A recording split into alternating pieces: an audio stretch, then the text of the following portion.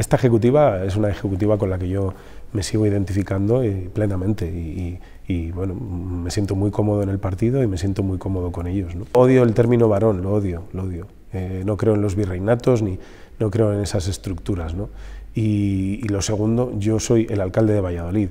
Desde el punto de vista institucional, soy el referente en Castilla y León porque no hay otro eh, cargo público, digamos, de mayor de mayor trascendencia, ¿no? soy el alcalde de la ciudad más grande, pero no, no me considero un factotum ni, ni, ni, ni, creo que el Partido Socialista de Castilla y León pivote en torno a mí, no, no, no lo veo así. Yo tengo un peso institucional evidentemente importante en Castilla y León, pero desde el punto de vista del partido, a nivel partido, soy uno más, no soy, no soy nadie eh, por encima de los demás. Yo estoy convencido de que si la Junta hubiese podido llevarse eh, eh, Switch o Innovat fuera de Valladolid, lo habría hecho, no tengo ninguna duda. No estoy diciendo con ello que no quiera que, que, se desarrollen esas dos industrias, no, no, no, estoy diciendo esto. Lo que digo es que si le dieran a elegir, seguramente hubiera preferido que hubieran estado en otro sitio. ¿no?